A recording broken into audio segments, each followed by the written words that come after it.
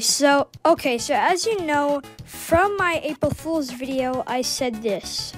Or if there's like any really cool news, but beware it's fake.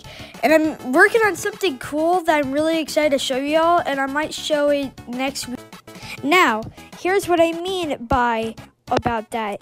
And judging by the title, you already know it. I am making a Gorilla Tag fan game. So yeah, um, basically, please, before I get into this video, don't ask for, to test or mod or anything. And right now, um, I'm actually a solo developer for this. I do want help, but I want help from actual people with good experience instead of just starting just to help. Um, so yeah, um, let's jump right in.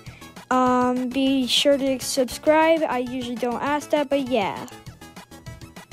So I had a couple reasons why I wanted a PC by playing PC games, playing PC VR games, making uh, videos for you guys that are better, and to actually make games. But I didn't want to instantly make games, so I waited two months until March, and I started working. So basically, first what I did was uh, get Unity, open it up, uh, try to figure out what to do until I uh, Found a tutorial of how to set it up, so I added a Gorilla Tag Locomotion, and here's gameplay.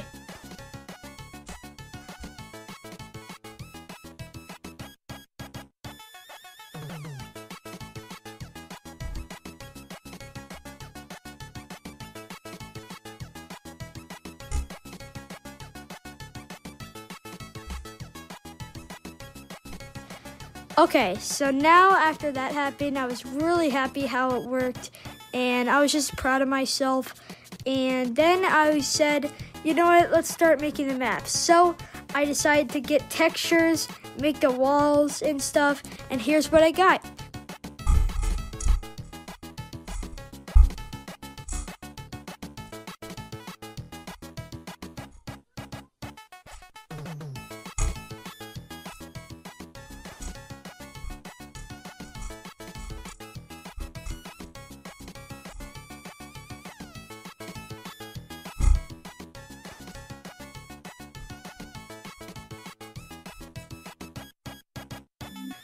So then I liked them, but actually it sucked ass. And let me explain why.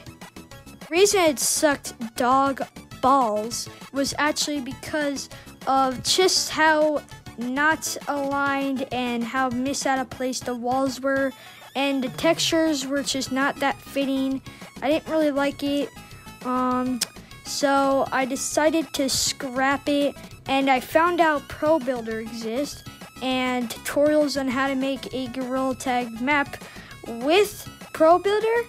Um, so I made uh, a map and I made trees, which I'm not gonna lie, I'm definitely gonna make new trees soon because those trees aren't just good, are just not good, and also, I added this like weird circle thingy. For some reason, like the texture of it is just weird and it's like fucked up, and I don't know what to do. So if you know how to fix that, please tell me. And yeah, so then I had the forest map, and I decided to make a hub. Uh, basically, just like Capuchin and Banana Tag. So after I made it, um, I was definitely planning of what I'm gonna do with it. Like I'm definitely gonna add a computer with it and like a little message of the day type board thingy. So yeah, I was perfectly perfectly set, and I was really just I'm just really excited um, to make a game. So right now, by the time I'm actually making this, um, that's all I got done. Right now, I'm working on a hallway for the shop.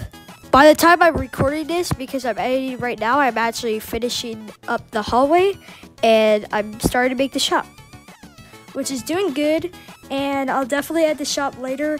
And I actually forgot to say I'm using Photon VR for this, and I made a player model that I'll definitely be uh, using di- another one uh, once I get help, and um, that'll be uh, in future updates for a new monkey model. So yeah, um, I'm definitely gonna be adding um, parkour and then shop and then if I find it good enough, I'll release it on App Lab.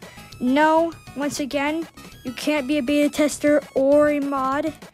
Um, and I already got testers. I already got my friend to help me test it. So yeah, um, sorry. So yeah, guys, that's it. I hope you guys uh, wish me luck on this journey. I'm really excited to almost be done with this. So yeah.